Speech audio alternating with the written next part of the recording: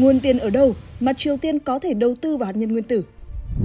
Như các bạn đang thấy, đây là Cộng hòa Dân chủ Nhân dân Triều Tiên, một trong những quốc gia bị trừng phạt, đó chính là cô lập, giới hạn kinh tế. Tuy nhiên, bất chấp tất cả, Triều Tiên vẫn không ngừng đầu tư vào kho vũ khí hạt nhân, từ khoảng 30 đầu đạn tính đến tháng 1 năm 2023. Không chỉ nhiều mà vũ khí hạt nhân của họ còn rất chất lượng, với sức công phá từ 100 đến 300 km/h. Tất cả những điều này đã đặt ra một câu hỏi.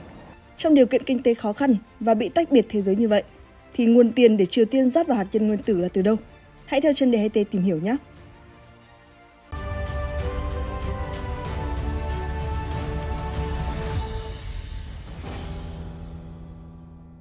Trong con mắt của người phương Tây, dù Triều Tiên tuyên bố là một quốc gia theo chủ nghĩa xã hội, thế nhưng thực chất lại là một nước tư bản. Lý do bởi họ điều hành tài chính chỉ theo một dòng duy nhất, đó là vào túi của Kim Jong-un và thuộc hạ của ông ta. Không may cho chế độ này, hàng loạt trừng phạt của Liên Hợp Quốc diễn ra khiến cho điều hướng nguồn tiền trở nên khó khăn hơn. Bị cấm vận và cô lập, Triều Tiên không thể bán những tài nguyên quý của mình ra thế giới như than đá, quặng sắt, kẽm một cách hợp pháp. Việc thiếu kết nối kinh tế với thế giới khiến Bình Nhưỡng mất đi một nguồn thu lớn, đặc biệt là đô la Mỹ để có thể giao dịch từ nước ngoài. Vấn đề nhanh chóng được giải quyết khi Triều Tiên thành lập Cục 39, một cơ quan bí mật chuyên phụ trách duy trì quỹ ngoại tệ cho lãnh đạo đất nước. Có một số luồng thông tin cho rằng Cục 39 thành lập từ những năm 1970. Kể từ đó, họ đã kiếm về những nguồn thu bất hợp pháp. Tầm quan trọng của bộ máy này đến mức những người đào tẩu khỏi vùng đất này nhấn mạnh rằng tiêu diệt nó đồng nghĩa với việc tiêu diệt lãnh tụ của nước này.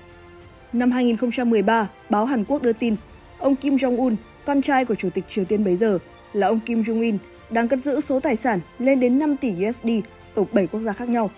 Ta có thể thấy Cục 39 đã thành công trong việc né tránh sự trừng phạt của giới quốc tế và giữ ổn định cho nguồn tiền chảy trong túi nhà họ Kim.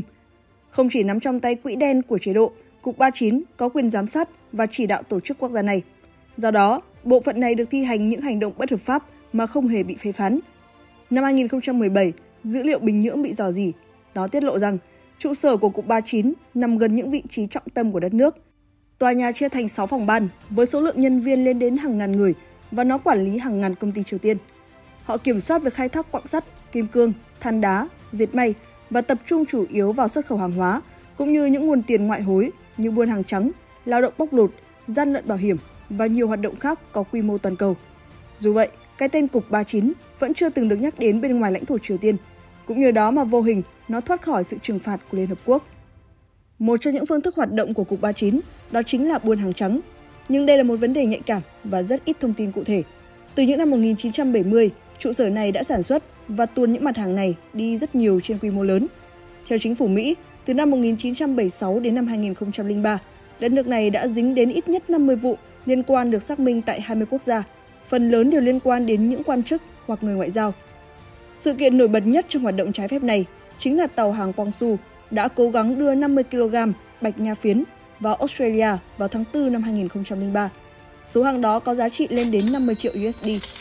Nhưng không, phi vụ đã thất bại, con tàu này đã tìm cách chạy thoát. Chỉ sau 4 ngày, cảnh sát liên bang và lực lượng đặc nhiệm của Australia bắt giữ. Từ năm 2010 đến thời điểm hiện tại, các thông tin từ Bộ Ngoại giao và cơ quan DAA của Hoa Kỳ thông tin, hoạt động bất hợp pháp này đã giảm mạnh. Nhìn từ một góc độ khác, hoạt động này đã biết cách che giấu cùng thông tin ít ỏi thì hoạt động này vẫn còn là một điều bí ẩn. Bên cạnh buôn lậu và ma túy, làm tiền giả và rửa tiền là hoạt động chính của trụ sở này. Một cựu ngoại giao của Triều Tiên sau khi đào tẩu sang Hàn Quốc đã có cáo buộc rằng từ những năm 1980, đất nước này đã có một hệ thống làm tiền giả. Để rửa tiền, người dân nước này đã đổi đồng tiền đô la Mỹ giả thành tiền nội tệ thông qua các đại lý bất hợp pháp, tiền địa phương, sau đó được gửi vào ngân hàng, đổi thành đô la Mỹ thật và mang về trụ sở Cục 39. Qua thời gian, hoạt động này ngày càng tinh vi hơn. Họ đã sản xuất ra những đồng tiền giả tinh vi đến mức chỉ có những chuyên gia đào tạo chuyên nghiệp mới nhận ra được. Không chỉ vậy, những đồng tiền giả này còn được tìm thấy ở Nga, Campuchia, Iran, Trung Quốc. Cho đến giờ, vẫn chưa có số liệu chính xác về nguồn tiền giả này. Một nhà nghiên cứu Mỹ cho rằng số tiền mà Triều Tiên sản xuất tiền giả ước tính khoảng 15 đến 250 triệu USD tiền giả được sản xuất mỗi năm. Liệu nhà nước Triều Tiên có liên quan trực tiếp hay không? Vậy làm thế nào để có những máy móc, xưởng in tinh vi phục vụ cho hoạt động bất hợp pháp này? Phần lớn đều là những thông tin từ những người đã đào tàu khỏi Triều Tiên cáo buộc. Ngoài ra, Triều Tiên còn buôn lậu vũ khí với quy mô lớn. Một trong những khách hàng lớn nhất với Triều Tiên là Iran, Hezbollah, Hamas, Myanmar và Syria. Đặc biệt, Syria có mối liên kết thân mật với nhà họ Kim từ những năm 1960. bảy năm sau, báo cáo của Liên Hợp Quốc cho thấy Triều Tiên dùng cờ và tên giả hoạt động dưới danh nghĩa các công ty bình phong để vận chuyển vũ khí đến anh bạn này. Một số mặt hàng có thể kể đến như gạch chống axit, van và nhiệt kế chuyên dùng để phục vụ sản xuất chất hóa học. Không chỉ dừng lại ở đó, Cục 39 cũng kiếm tiền phi pháp thông qua gian lận bảo hiểm. Cục 39 đã thành lập nhiều chi nhánh trên thế giới và ký những hợp đồng bảo hiểm lớn ở châu Âu. Một trong những thủ đoạn này đó là tái bảo hiểm cho các máy bay Mi-8 sắp hết tuổi thọ. Ban đầu cục thanh toán phí theo đúng thỏa thuận, nhưng sau đó phá hủy các máy bay này để thu tiền bảo hiểm. Thông qua nguồn thông tin từ công ty bảo hiểm, các chuyên gia tin rằng Bình Nhưỡng đã thu về hàng trăm triệu đô la từ các phi vụ lừa đảo bảo hiểm. Ngay từ những năm 1980, người Triều Tiên cũng nhận ra tầm quan trọng của máy tính và đây cũng là khởi nguồn cho tội phạm mạng. Chính phủ nước này đã tin tặc ngay từ khi còn nhỏ.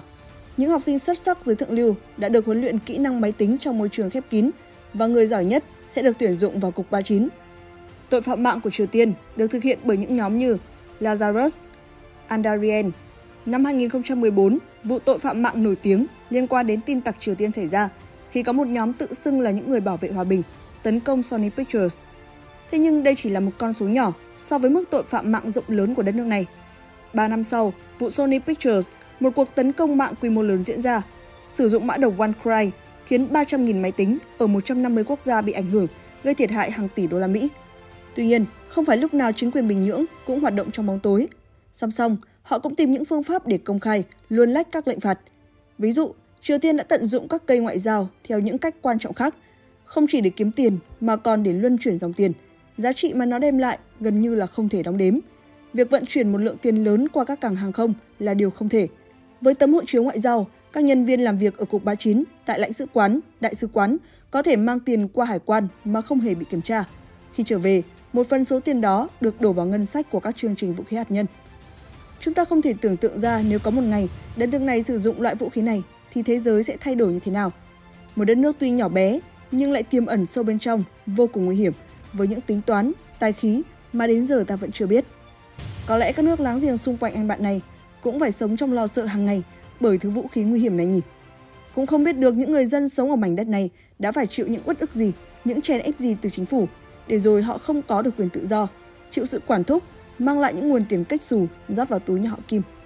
Theo những người đã đào tẩu khỏi Triều Tiên, các lệnh trừng phạt quốc tế mặc dù là trở ngại, nhưng không đủ tác động để ngăn chặn cách thức kiếm tiền của nhà họ Kim. Tiền vẫn sẽ đổ về và kho hạt nhân của ông Kim Jong-un vẫn sẽ không ngừng mở rộng. Các bạn suy nghĩ sao về mạng lưới tài chính bí mật của quốc gia này?